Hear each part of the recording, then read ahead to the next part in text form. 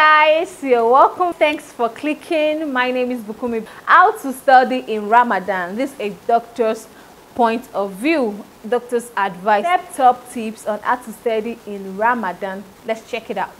Hey guys, it's Shireen, aka Halal Girl New York. I'm a doctor from London living here in New York and welcome back to the channel. If you're new here, don't forget to subscribe by pressing the little red box you see underneath this video. Since we're currently in the holy month of Ramadan, I thought that it would be really fitting to share with you guys my 10 top tips on how to study effectively during Ramadan. If you don't know what Ramadan is and you're just here out of curiosity, Ramadan is the ninth month of the Islamic calendar and it's a month in which God has asked all Muslims across the world to fast during the daylight hours. It's a really special and holy month for us. I know that there can be some anxieties with how to study effectively when you're going the whole day without food and water. It's important to plan ahead, be smart and be wise and that's why I wanted to share my 10 top tips. And just a little bit of background about me. In 2018 I graduated from King's College London and I studied there for six years where I gained my MD slash MBBS degree and a Bachelor of Science. And in 2019 I spent pretty much the whole year studying for some very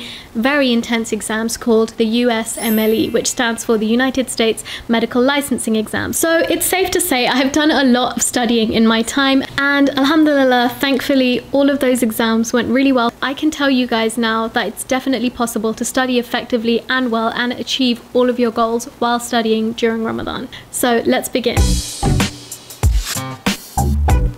Tip number one is adjust your schedule. Mm. And this is probably the most obvious one out there. If you're someone who can't study while you're feeling hungry, or obviously, even scientifically, our brain does need energy focus. to focus and concentrate and work to its best ability. So, if you're able to and you're not working or going to school, then try and adjust your schedule accordingly. What I found that works for most people who don't have to be waking up early is trying to use some of those nighttime hours to study. This is a sample of what a regular day studying in Ramadan would look like for me. I would start my fast by eating sahur at around 4 in the morning. Because I've just eaten and I'm already awake, I think this is a really good time to get a little bit of studying in. Your brain is fueled with energy, there's no distractions, it's a really peaceful time of the night and no one else is awake and I just personally felt like this is a really yeah, good time to study a little bit. So I would leave difficult concepts for this two hour window. So from 4.30 to 6.30 I would study for two hours. Then I would go to sleep. I would wake up at around 1.30 p.m. and pray the Doha prayer and then I'd be ready for another study sesh. So from 1.30 to 6.30 I would have a solid six hours where I could do wow. a nice chunk of studying too. I try and tackle the difficult concepts earlier while I know that my brain has energy and I'm feeling wide awake and then leave the easier topics for a little bit later when I know that I'm going to start feeling tired and hungry. The end of the fast would be around 8 pm, so from around 6:30 to 8, I would rest or worship or even have a nap. It really depended on that day. At around 8 pm, I would open my fast, I would eat, pray and relax and spend a little bit of time with my family. Then my night shift would begin. I would study from around 11 till 3. Again, this night shift study time is really important because obviously it's nighttime, so you can eat, you can have your coffee next to you, your water, your snacks, whatever you want. So make sure you use this time wisely. I would study all the way until sunrise and then the cycle repeats itself. It's so important to find a schedule that works for you. If you're someone who has to be waking up early in the morning for class or meetings or looking after your kids or any of that, then I would recommend not going for this schedule and trying to keep somewhat of a more normal schedule and making sure that when you come back from class or you're finished with your responsibilities that you use that time before and after Maghrib really wisely and then sleep and make sure you're getting your rest. It may take you a few days to figure out what kind of schedule works best for you and what's making you feel most productive and most energized.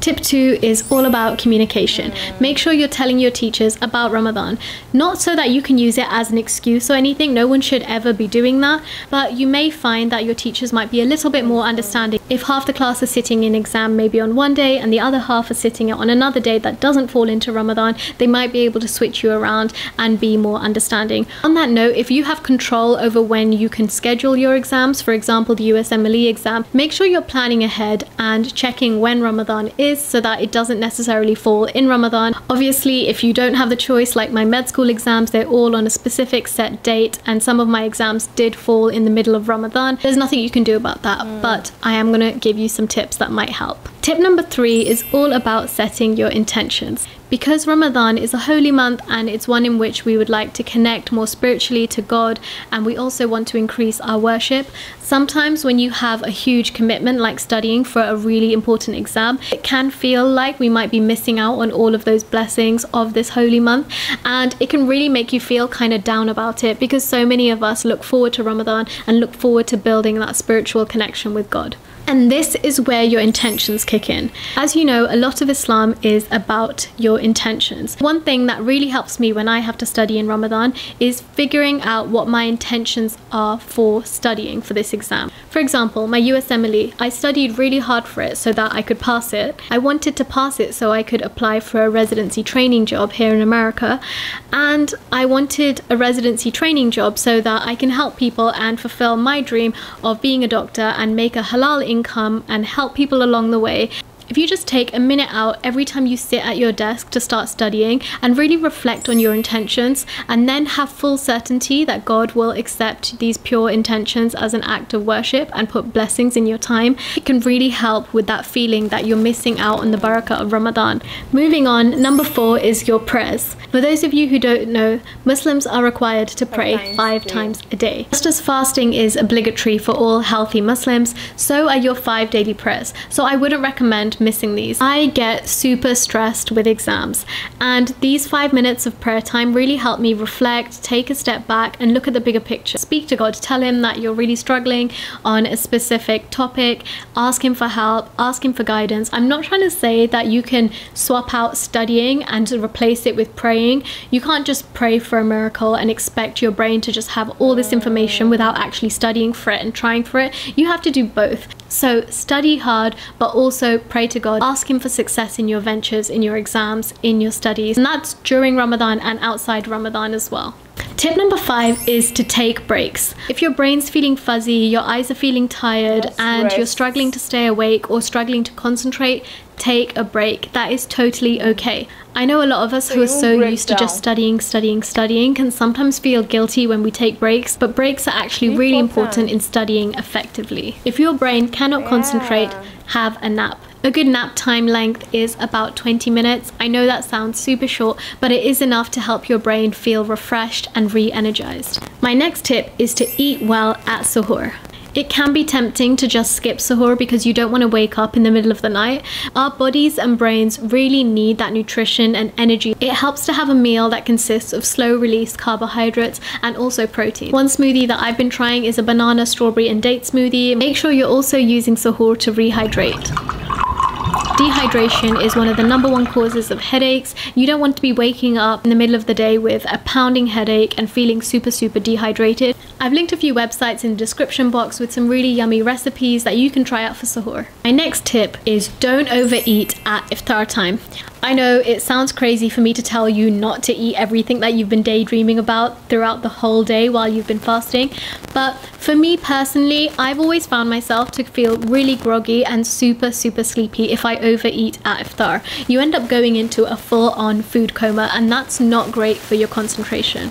What I recommend is having a small portion of food at iftar. Your body doesn't need as much food as your brain is telling your yeah. stomach that it needs. And if I'm hungry again, I'll go and have another plate of food. My next tip is to study with company. Obviously, right now, while we're in quarantine, it's difficult to actually physically study with friends who might also be fasting, and you can feel like you're all doing this together. You're all fasting and studying, which is normally great and a great source of motivation. But don't forget, we still have the internet. So, one thing I used to do when I was in long distance with my husband, we would FaceTime each other and then prop up our phones, mute ourselves, and just sit wow. and study. I think this method can really help with your motivation, especially during Ramadan, where you might feel like you're the only one having to study while fasting. Tip number nine is discipline. And I know this doesn't really sound like a piece of advice, but in all seriousness, sometimes in Ramadan we can feel a little bit hard done by if we have to study and refrain from food and coffee and all of that. So sometimes we can let our guard down, and it's totally okay to forgive yourself if you've had a bad study day, and it's totally okay to adjust your goals and your expectations during Ramadan. But having discipline is so important when it comes to studying. So sometimes you just have to really give yourself some tough love and make sure you get back to your desk. Don't forget, there's so many people around the world right now who are studying and fasting. You can do this, you guys. I did it, my friends did it. So many people I know have studied during Ramadan and have come out with amazing grades. It is no doubt that studying during Ramadan takes a lot more willpower than studying during another day. Sometimes when you know you can just have a bag of crisps next to you and munch on those while you're studying, you just feel a bit better about yourself because it feels a bit more chill. But honestly, holding on to that discipline is so important during Ramadan. So many people ask me what my secret to doing well in school and exams is, but honestly, nothing beats hard work. And tip number 10 is don't forget to make dua. Who better to speak to when you're stressed about an exam, a concept isn't sticking into your head, than to speak to God. Just as a general pointer, throughout medical school, before I started studying for any exam, I would always make specific du'as that are tailored towards helping you in your studies. I've linked some in the description box if you're interested. Once I found those prayers that I really liked, I would print that page out and I would just stick it right in front of me while I was studying. That reminded me that whenever I started my day out by studying or I returned from a break and needed to start studying again, that I would just have a quick look at that piece of paper and read out the dua. And having full faith that God is hearing you when you're saying these du'as, I found it really comforting. By reading a du'a, it's not going to magically mean that you know all the information that you could possibly need, but sometimes if you really are struggling on a topic and then you read a du'a, I found that the next time I come to it, I've just kind of understood the concept a little bit better. So it's important to not underestimate the power of mm. dua. And if you don't want to find a specific one in Arabic, remember that God speaks every language in the world and He understands you and He hears you. If you're not Muslim or you are Muslim but you're not used to incorporating as many practices into your daily life and your routines, some of what I've said might sound a little bit strange because my religion is such a huge part of not just my everyday life but also my identity. I couldn't really ignore these points that really added value to me. If you personally have different beliefs and don't share the beliefs as me, that's totally okay. I still appreciate you watching this video and maybe you even learned something new about Islam. But regardless of what your religion or beliefs are, I do think it's really important to be respectful and mindful. So they are my top 10 tips for how to study effectively during Ramadan. At the end of the day, everything is in God's hands. So at least you can feel rest assured knowing that all you can do is try your best and that's all that anyone really expects of you. And just to recap, we had Adjust your schedule. Tell people you're fasting. Don't forget to set your intentions. Don't forget about your prayers. Take breaks if you need them. Eat something healthy and wholesome during sahur. Don't overeat at iftar time. Study with people who are in the same boat as you and who might also be fasting. Don't forget that you will require discipline. And finally, don't forget your du'as and to pray for success in all that you do. I really, really hope that you enjoy this video. I wow. I really enjoyed this video. As a non-Muslim, I've learned a lot, guys. I've actually learned a lot about how to adjust your schedule. You know, this is a beautiful way to communicate to God. I, I think you can actually adapt this method even as a non-Muslim in your religion. You can actually adjust your schedule you know if you are not a muslim but let's let's leave that one aside because now is the season of ramadan. Like you said you need to adjust your schedule based on how convenient it is for you. You can imagine she she studies six hours she'll study like three hours again so in total she she can study let's say up to nine hours per day. And if you know your schedule isn't like that and you know the nature of your work you can as well adjust and the most important thing is to study and just have a timetable. I think that's the meaning of adjust your schedule. Have a timetable daily timetable that and you have to follow so that you will not miss out in anything. So that even though you're tired or less busy you know you you get the reminder. You can even set a reminder on your phone. And one thing i liked about this adjusting your schedule is the fact that you know I never knew Muslim um, break their fast around 4 a.m. in the morning and you can also break your fast in the night around 8 p.m. That means they break fast, I think that should be twice in a day.